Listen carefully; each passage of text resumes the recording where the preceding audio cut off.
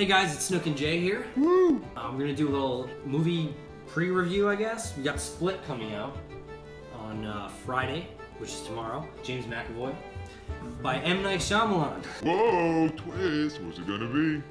M Night Shyamalan is known for his twist endings, and some like his films, some hate him. You know, who, who are we to judge?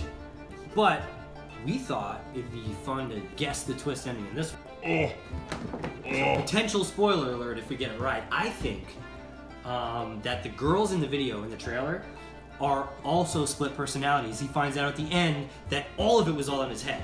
Or there's a little boy who's alive and he sees dead people.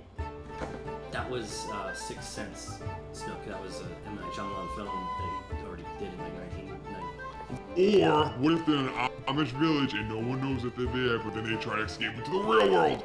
That was The Village, which was also an M Night Shyamalan film. They weren't actually Amish. It was basically just a community in a national park that no one knew about. I got one. How about um, I don't know? They're all aliens and they're from another planet and they come down to conquer us, but they're allergic to water. Oh, Oh wow, 75% water is the and they planet. die. Yeah, it rained. You need, you, we need to write this.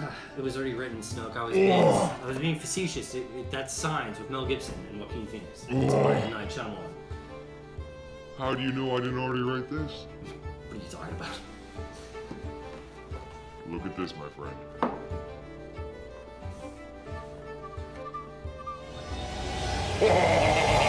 Shyamallama Twist.